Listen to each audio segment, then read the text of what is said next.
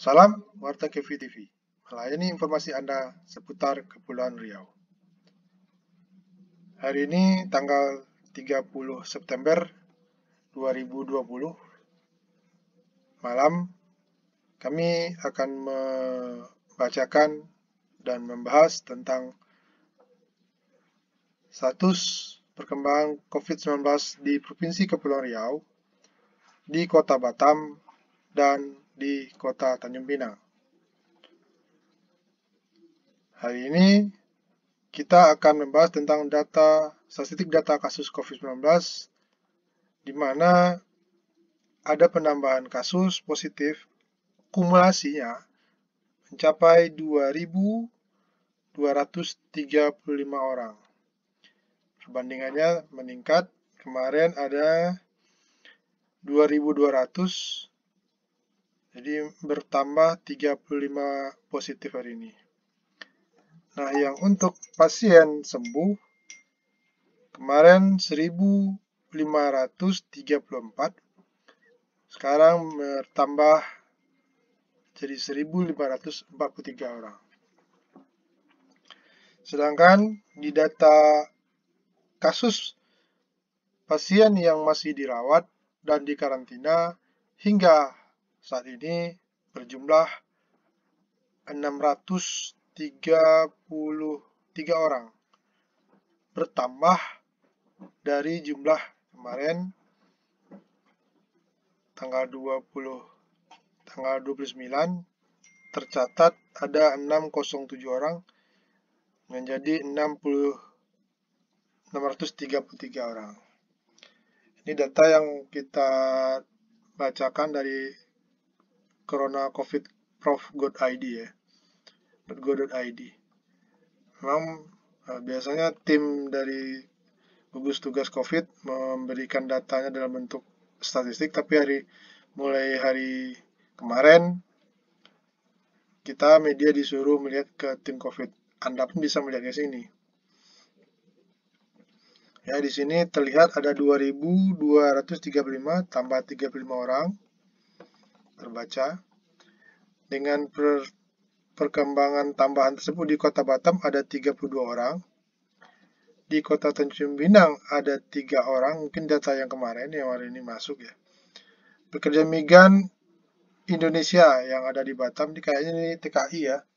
Mungkin dari Malaysia atau dari Singapura masuk tambah satu orang dan di sini juga terlihat dalam penelusuran minus satu orang. Jadi kelihatannya uh, kita belum tahu apa arti minus ini. Tapi kalau dilihat di sini 32, 33, 34, 33, 36 ya. Iya kan? 35 pada di sini. Tapi ini apa maksudnya ini? Ini udah 35. Oh, jadi ya apakah plus dan minus ini jadi hilang jadi nol ini 30 35 orang. Ya mungkin itu penjelasan rincinya jumlah akumulasi aktif ya ini sembuh 1543 dan dukanya ke yang meninggal 59 orang. Untuk kota Batam eh, kita akan masuk ke bagian sendiri. Nanti untuk kota Batam juga untuk kota uh, kota Tanjung Pinang. Bintan kita tidak dapat link kerja sama tim COVID-nya, mungkin dia tergabung ke kota Tanjung Pinang atau ke provinsi ya.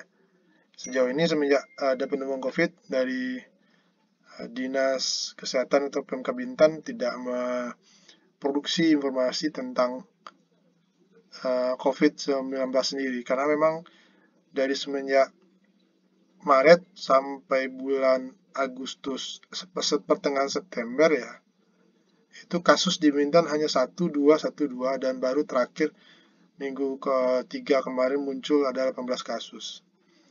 Ya ini ada 61 orang positif ya jadi total di Bintan 61 ya. Karimun tinggal satu orang dan mau zona hijau. Kemudian Lingga ini kenapa ada kuning juga? Kepada kasus mereka saat ini dirawat di kota Batam dan di Tanjung Pinang. Harusnya hijau hingga Natuna hijau, Kabupaten Anambas hijau. Oke, itu yang ada di kota Tanjung Pinang, eh di Natuna, Anambas posisi hijau. Harusnya Lingga juga hijau karena pasien tidak ada di sana. Data pengembangan COVID, kasus uh, di Provinsi Kepri per 30 September. Ini datanya, pemirsa bisa melihat PCR negatif selesai menjalani karantina ya. Ini ada 1.500 orang yang tes tes. Eh bukan 15.000 ya. 15.027 oke. Kita akan masuk ke rekap harian di kota Batam. Oh ya. Ya benar ada 32 orang di rekap harian di provinsi eh di kota Batam. Jadi kumulasi yang saat ini di kota Batam pasien ada 1607 yang tersebar di sejumlah rumah sakit. Nanti kita ke lihat ke bagan eh, rujukan rumah sakitnya yang di mana saja yang 1600 ini. Dan sampai saat ini ya ini ini cukup panjang ya. Ini cukup panjang saya tidak akan sampaikan. Ada sampai 1500 cukup panjang ini Oke, kita masuk ke poin tentang tanggal 29 kemarin seperti biasa. Jam 3 baru kita dapat tadi uh, pada tanggal 30 hari Rabu ini pagi tadi sih, sekitar sekitar jam 11. Namun kita baru bisa upload pada malam ini karena uh, menunggu data dari provinsi yang belum baru akan diupdate pada tanggal 30 uh, September jam sore sore tadi. Jadi kita baru gabungkan jadi biar tidak tertinggal data provinsi di Kepri dengan Batam serta Tanjung Pinang. Ya, total 900, sembuh 1011. Ya, terkonfirmasi positif hari ini tanggal 29 uh, eh, yang di provinsi tanggal 30 ini 32 orang ya. Nah, kita akan lihat mungkin pemirsa belum tahu rumah sakit yang di Batam, kita akan lihat posisi rumah sakit. Biasanya ada ya. Ah ini ada dia. Ini rumah sakit uh, sebaran pasien ya.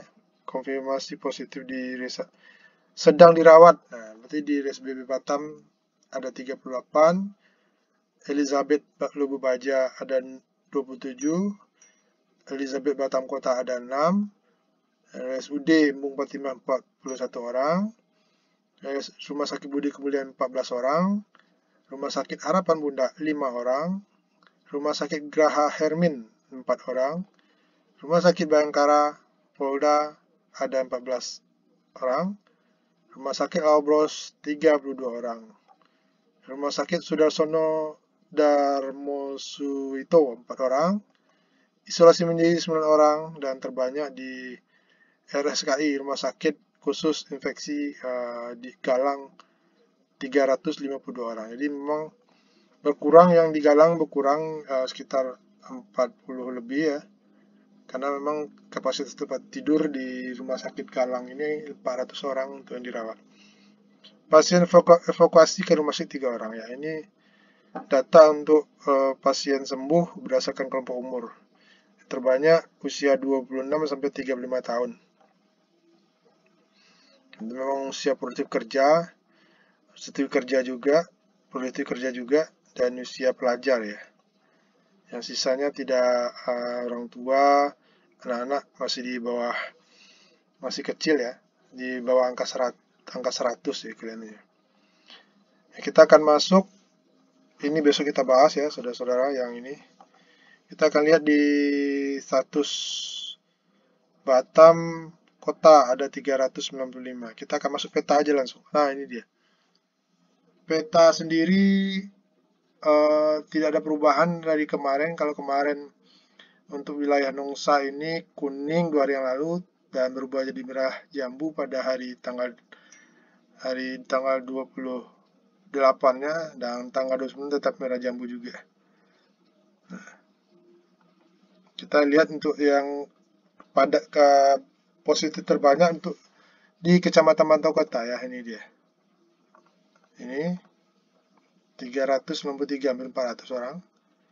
Ditempati yang kedua mungkin ya masih di kawasan industri muka kuning ya di, di Kecamatan Sebeduk 299 orang. Di tempat posisi ketiga di Sekupang, ini juga ada beberapa perumahan kawasan industri dan lingkungan PNS 216 eh, disusul di daerah Sagulung dan Batu Haji ini. Sagulung ini Sagulung 151 orang juga tempat penyebaran uh, karyawan dari pekerja muka kuning juga ditambah daerah daerah Batu Haji sekitarnya juga. Jadi antara Sebeduk, Sagulung, dan Batu Haji dan mungkin ke Kupang uh, adalah uh, jikalau uh, di sini daerah kawasan industri, jadi pekerja tuh banyak tinggal di sekitaran di Batu Haji, Sagulung, satu garis, ada Sekupang juga. itu untuk wilayah peta. Kita akan coba lihat uh, yang terpenting rekap hari ini jumlah pasien positif ya. Oke, ini yang sembuh. Kita lihat dulu yang positif. 32 orang hari ini, hari Selasa per 29 September 20. Sebanyak 32 orang. Terdiri dari 22 orang laki-laki, 10 orang perempuan. Nah, kita belum tahu, saya belum uh, lihat data ini di mana aja uh, positifnya tinggal. Untuk nomor satu, kasus 1576 belum sekolah, usia 5 tahun ya. Ini kawasan perumahan Tunas Regensi. Ya, ini kelihatannya masih wilayah sekitar Sagulung, Sagulung, Sagulung, dan Batu Haji, dan Benggong ini. Benggong Sade masuk lagi, ini kawasan rumah rakyat uh, kembali masuk lagi kapakan. Di sini juga ada. Nah ini kembali lagi ada satu warga di perumahan Cendana Batam tahap 5 uh, eh, ASN tenaga kesehatan Pemko Batam. Uh, ya ini Cendana kebetulan di tidak jauh kawasan perumahannya dari perumahan kami ya. Melakukan pemeriksaan swab PCR pada salah satu laboratorium klinik swasta guna keperluan pekerjaan dengan keluar meriang, badan sakit-sakit disertai hilangnya indera penciuman pada perasa. Jadi memang kuncinya itu hilangnya indera penciuman pada perasa setelah badan pegal-pegal ini ya. Jadi ada kasus 1581 orang. Wanita Nyonya WP ya. Kita akan tahu nanti siapa. Setelah sembuh akan jelas nama alamat lengkapnya nanti ini. 1582 Sepancur Perumahan Bidayu ya. Nah, kemudian Ah, iya, ini kayaknya perumahan cendana ada dua ini. Kawasan karyawan swasta Belian atas nama Tuan P laki-laki 59 tahun 56 tahun tinggal di perumahan Cendana Belian. Memiliki keluhan sesak napas demam batuk berdahak dan sakit tenggorokan. Dirawat di rumah sakit Elizabeth Batang Kota ya ini dekat dari perumahannya yang kemudian kita lihat uh, masih semuanya ada didominasi ya uh, pasien positif dari lingkungan pekerjaan. Ya, ini lingkungan pekerjaan di hari ini tidak ada penambahan saya belum lihat nih ada penambahan kah di kawasan industri? Kawasan Tanjung Uncang. Ya tadi Tanjung Uncang ya, ya ini ini kayaknya pelaut ya, kawasan Tanjung Uncang. Ini kawasan industri perkapalan di pasien nomor 23 ini. Ini memang kita sengaja tampilkan ini mungkin selain hanya mungkin warga Batam tahu dengan data ini udah banyak berapa tapi kan tentu uh, pemirsa Warta Kepi juga yang ada menyaksikan video ini mungkin berasal dari luar kota Batam ya. Ya ini yang pasti tujuan uh, kita mempublikasi ini bukan untuk uh, menambahkan rasa takut atau cemas di kota Batam, tapi ini sebagai gambaran data yang mungkin bagi Anda suatu saat butuh uh, akan laporan-laporan seperti ini. Memang kalau dari pagi atau dari siang nih data publikasi banyak, tentu yang namanya uh, WhatsApp tidak mempunyai daya tampung yang besar, sehingga jujur nanti akan dihapus. Nah, semoga ini data-data yang kami buat di WhatsApp ini bisa bermanfaat di kemudian hari ya.